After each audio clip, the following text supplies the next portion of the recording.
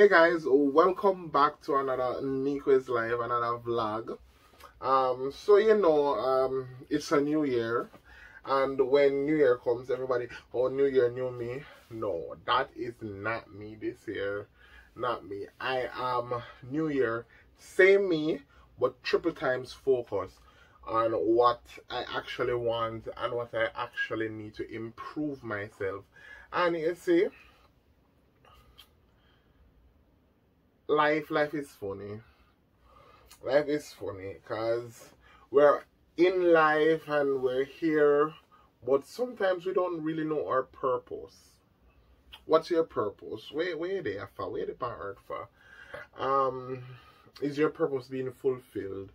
Uh many people go through life and never find them purpose so till where we're out. Like I was seeing something where a filmmaker, she never got her, she made her first big hit film at 80. Um, Vera Wang made her first dress at 40.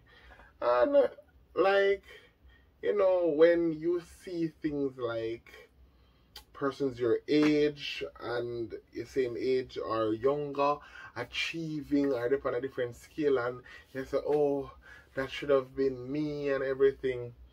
I one time I tricked my mom. I made a fake tattoo. I got a fake tattoo, right? And um, I installed it and everything while she wasn't here. I was telling her about it. She saw my preparations of actually shaving and everything and getting prepared. And when I got when she got home, she saw the tattoo and well, I lit up and everything to make it look real. However, um, it wasn't real. However, the tattoo and the message or the meaning that I came up with about the tattoo was spot on. So it was half of a clock, but the clock was in Roman numerals. The clock was broken, and the other half was a lion face. And I gave her the meaning, meaning like, okay, my name means leader, or I see myself as a leader. I am never a follower. I mean, I like follow people. Me like do my own thing. I like set my own trend. And um, the clock being in Roman numerals and broken means not living on anybody else's time. Your time when it am for you, it am for you, or your time that. And what is gone in the past can't be regained. But you can actually improve and better yourself your time and your time. When I your time for boss, when I your time for shine, when I your time for take off like rocket, nobody can stop you. Right? So that was a perfect example and to this day I look back on that and it's very it resonates with my life and my no means of finding purpose or finding my purpose because growing up um everybody tell oh be a doctor lawyer teacher nurse um but what is it that you really want? Going to school. Me got school for enough things. Enough things, enough profession, um, which I don't even look at today. And I'm not even currently working in any of those professions. So you see? And even going to school now, I have to be looking at it uh, um, through a bigger picture saying, okay, at the end of this, I will be able to do that and not necessarily walk along the same lines as my degree. However, my degree would become um, useful or utilized in um, whichever profession I take on. I'm doing my degree in HR. So, what is my purpose? What is life? I like i know that i like helping people. I like um i hate injustice. I hate a lot of things. And i like to you know stand up for persons who can't necessarily stand up for themselves. And um I like just I like charity. I like volunteerism. I, I think of myself as a philanthropist in a sort of a way. Um, it may not be main scale or big, but however, um, I do what I can. And with God's willing, hopefully in the future I can take it further. However, um, what's your purpose? What, where, where, where, they part for? Each day, you can't beat up yourself, you know. You can't beat up yourself because people know that they, that you may think that everybody has their life intact and they know what they're about. No. Some people just take it day by day, step by step, I try go through the motion and try to figure it out just like you. Don't bother beat up yourself. Don't bother get dismayed. Don't, yeah, life alive, live it. Continue going. I said life is a journey. Sometimes the road have bumps and bruises and yeah, you know ups, highs and low go around the corner, the mountain and the hill and the valley. That is life. Um so my word that I've been using for um last year that resonates with my life or my current life or my current phase in life at the moment is being selfish. Yes, you heard me right. Selfish. Being selfish doesn't necessarily means it's a bad thing. Not most of my life I've been selfless now I am at a stage where I need to be selfish. Selfish with my time, what doesn't help me, what doesn't help me to be productive, what doesn't help me to matriculate to a different area in life, what isn't progressive, what isn't benefiting me or investing in me, my time, my efforts, my my presence. Um, I just exclude myself um, I extricate all of these things, persons, anything where I see myself align with a purpose, a vision. Yeah, it can come out, it can move because guess what? I always tell everybody if I am not happy, no one else can be happy. No one else is happy. Because guess what? I have to be able to be happy, and once I'm happy, I will be able to help you or make you happy. If me not happy and you come to me sad, me, oh, you know, like you're poor in a well, however, are you pouring a cup and a cup full, and a cup just run over, that's going to be the effect. And then a half full, and a half empty situation where I can say, okay, let me help you do. Me can't help you if I'm not happy. Oh, go. Me, it like, I don't know. Me, me. So I tell everybody, if me not happy, you naga happy when you come to me because guess what? I don't really care. That's not my main focus. That's not my main prerogative. That's not the outlook that I'll be giving you wouldn't make any sense. May I tell you to come back to me next time or something because guess what? I have to sort out myself and I am very I don't know I'm very emotional. Not saying emotional cry or anything like that but my emotions change within an instant. A snap. I don't know if I can say in me or what but it just changed so this minute I can be happy and everything and then I just switch and I'm just sad and I um I think I'm an empath because I draw others' emotions or their feelings. So guess what? I like their own cheerful people. I like being open. I'm a free spirit.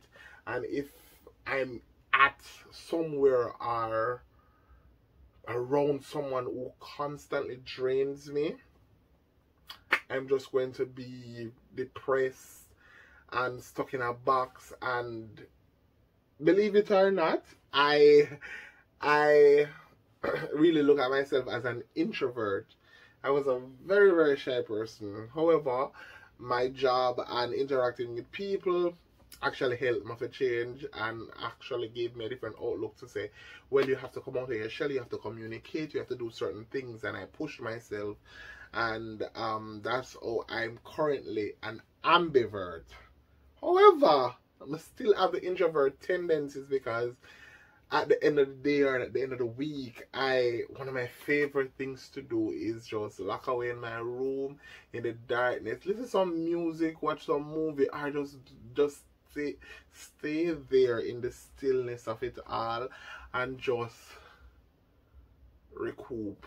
Um try to gain back energy, be re-energized because I have done a lot of interaction and a lot of things that pull me here, there, and everywhere, pull my emotions. So I need to recollaborate and I need to be centered so that I can give the best me at all times. And look at this, it's okay not to be okay.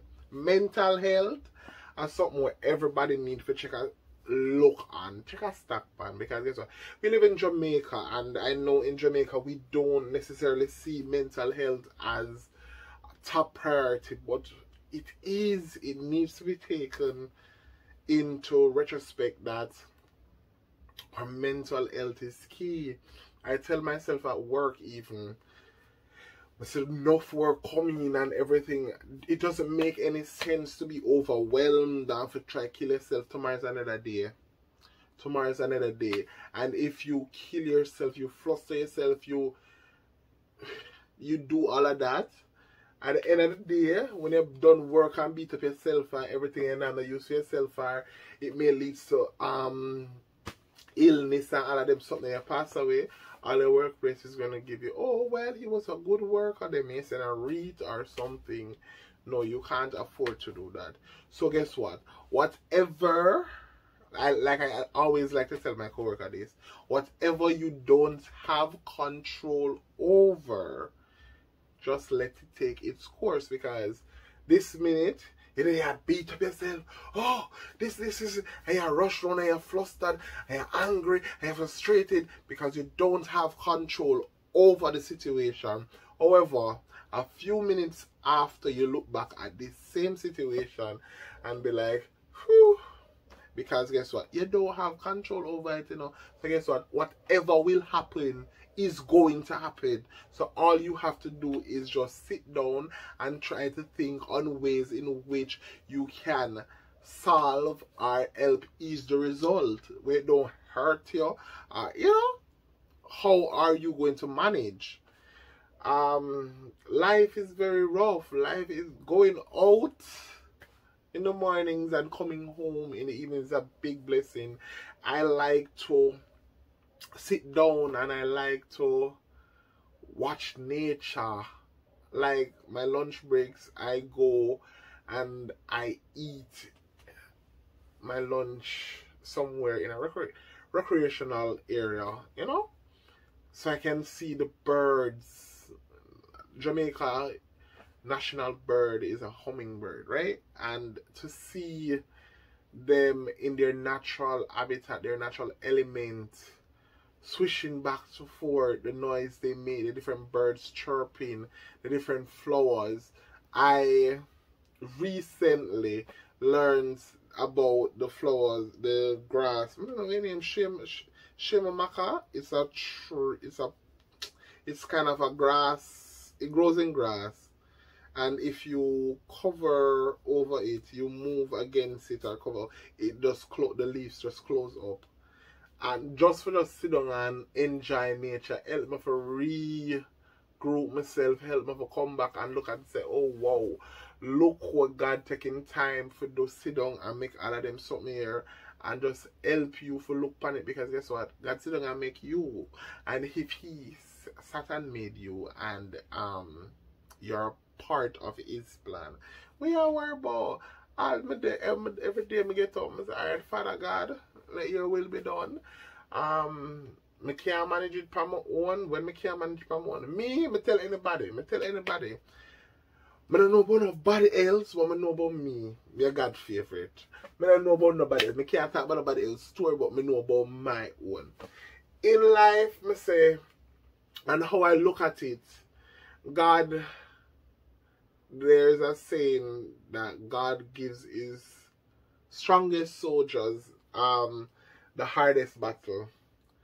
And sometimes I have to use this to comfort myself and look at things because every time I'm going through a situation, I ask God to just um, let me to look at it on a perspective of somebody else going through something more drastic than what I'm going through, something more dire than what I'm going through, to actually show me that what I'm going through is minor. You know? Because if we look at life that way, trust me, trust me. Who remembers the, the, the story of the um the man in the tree? He was going to hang himself because he said I'm hungry and the food not there and the last food him have is a banana and we'll go up in a tree and eat it and then um take his life. However, when he dropped he dropped the banana peel and he looked down and saw that somebody else took it up to eat it, he then looked at life differently. And that's what that's how I want to look at life because we're all here. What's your purpose? What's your aim? Um, and if we look at our problems and trials because depression is a hell of a thing. Mental health is a hell of a thing. And then guess what? If you see somebody or you see some signs of mental health in somebody, some form of depression, because persons who are depressed not all the time tends to show their depression.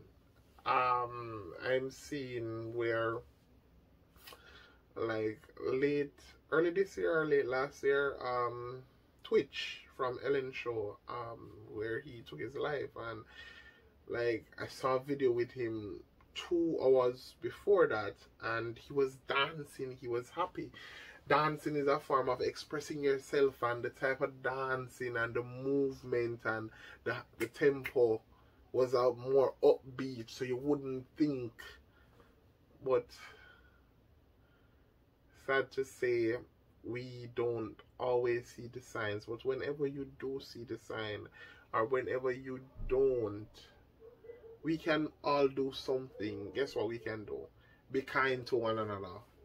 Be nice to somebody. You don't you don't know where people are going through you don't know what people going through. And it doesn't hurt to be kind. Because guess what? When you are kind to someone and the reaction that you get or the feeling that you get is satisfying and it helps you internal to be happy. And that's what we all need because in a minute sense we are gonna run and jump and oh I'm this and I'm that. But when you look around you have made everybody unhappy.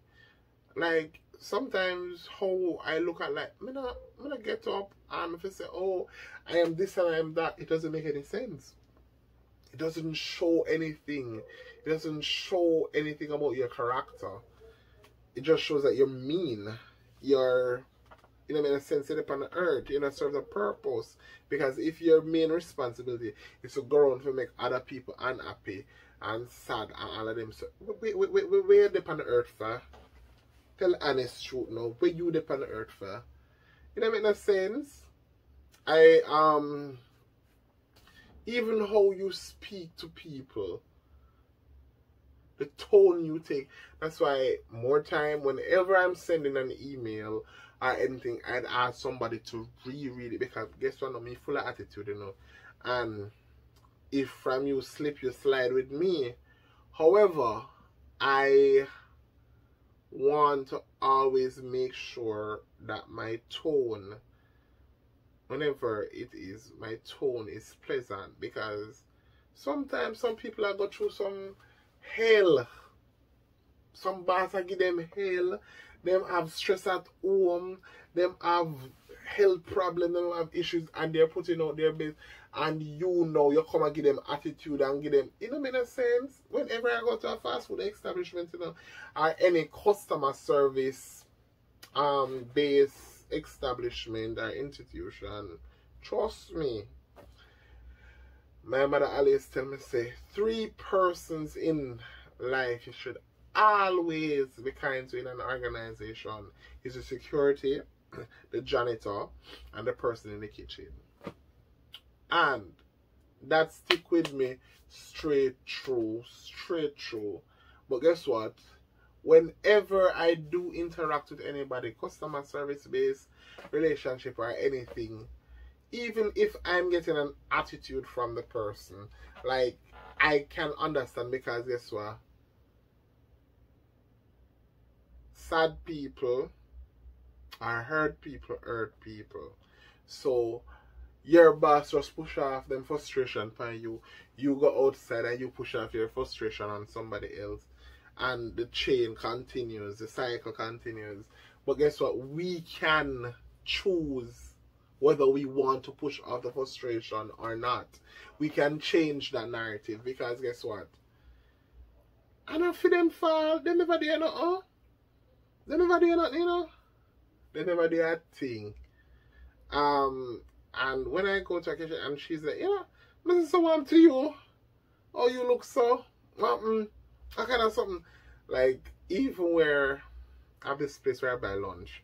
Um, a favorite place to buy lunch and I was there one day and a customer she was the the cashier was dealing with me however um the customer that was there she was being um why is this so and this and that and so however she didn't know that I was before her and she started to behave on the cashier and everything I was like you know what never mind don't don't pay her any mind some people have problem. Some people have stress and all kind of problem and I'm choose to come take it out from people. Just by highlighting that and saying that, change her day, change her outlook. Because guess what? She's dealing with everybody, every customer, and guess what? The energy that she gets from you is the energy that she will have to put out. And it's very hard for you to get up and be positive and cheery when people just a bit dragon amongst you. People just a try to tear you down. It, it's not easy, so you have to understand sometimes. It's hard. Um I would never want to work in the BPO sector because of the same thing. Persons call you and they tell you all kind of derogative things and stuff like that, and you have to be there being pleasant and kind. And then the members say, "Are you man?" Them attack to just like themselves, you know, and they want good customer service. However, they're telling you all kind of things. I, I just don't like that. So I always try to put out the best. Cause life short. Life is very short. So guess what you do? Put out your best, do all that you can, and be the better, best you, best you we can the under earth and everybody likes us. Something is wrong if everybody likes us. We are people please at them time there. However, we can't be everybody cup of tea, cause we no mug. And I always tell people this. I am um imported Belgium chocolate. So I am very rare. I am an exclusive caliber of chocolate. So I'm normal. And you not liking me, that's okay because you know used to good and everybody used to certain things. Some people used to bush tea. Not saying that there's something wrong with bush tea, but everybody used to good things, you know? And everybody used to niceness. So, and everybody are able to like you, gravitate to you. That's okay. However, what you do and what you should always do is earn or demand respect. Them not feel like you, you know, but from them respect you, that's cool. You don't need to cross no boundary, you don't need to cross the line. Life short. I'm seeing on the news where persons are dying for more than once, multiple times. I'm seeing where persons this year are dying just for a hundred dollars over an argument and some just some little ma minuscule disagreements and stuff like that. It doesn't make any sense. Try to live your life. Try to find your purpose. If your purpose is baking and you know you, you can bake well, You bake, bake to the best of your ability, you bake with love, you put out your things and because guess what? It shows. It shows from your work. And guess what? You never know. Because guess what? You like baking and you like this business and you like going through it. So guess what? When you bake, okay, you bake a cake, you do it, and you put a little card in it, you do something, something special about your product, and you put it out there. The person that is receiving it, it can change them they change them outlook, and by you doing that cause a ripple effect. So just be you, be you, be natural. Um I hate persons who pretend to be somebody else, the pretentiousness and being cocky and live you, do you. Guess what? I tell myself every day, look, you're not too much copy in the world, and God make you so special with so much personality. You cannot fit in. You cannot fit in. Try stand out. God put you as a light, try shine. Yeah? Try shine. Nobody try fit in. And everybody got understand. However, when they should understand and what they should understand, they will get it when they need to get it. Maybe the chapter when them are read, them not reach your level yet. Alright? Then the chapter 4 and your chapter 11. Just be you. Try find a purpose in life. Try, you know, let us be human beings. Um, people go through things every day, you know? So, just be you. I always tell everybody, don't be anybody else. Don't try to be anybody else. Just be authentically you. And me can only be me. Me can only be me. So you only be you. Alright? Thanks for watching.